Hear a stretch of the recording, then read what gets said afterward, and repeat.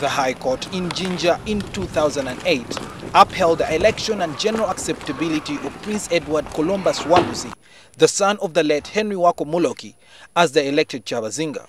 His main rival, Prince William Gabula IV, also came out to claim the throne, challenging that he had been elected by the vast majority of chiefs. Eleven equally powerful chiefdoms continued to vie for the Kyabazingaship, with many embroiled in fights over the control of the kingdom's property.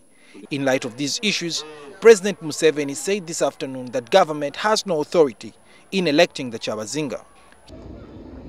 It is not in my hands.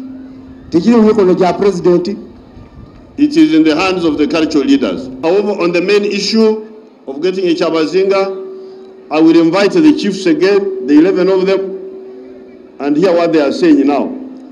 I would like to use this opportunity to congratulate His Highness Gabula on his 13th coronation. He made these remarks while attending the 13th anniversary coronation of Prince William Gabula IV as Chief of Gabula.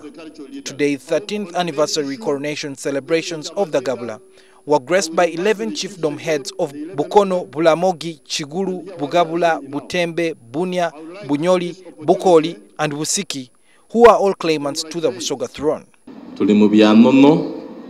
Era mwebale ino okuba nti tuli kuvaluinga culture values ediriwo titwidda kumala leero mwebale tulaga ife abakulembeze ab'ensikirano nti mwena mu culture mugiikirizaamu inno These celebrations, have however, come at a time when a shadow is still cast over who is to assume the position of Chabazinga. At the moment, disputes continue to erode the image of the historic Busoga chiefdom. Suhail Mugabi, NTV.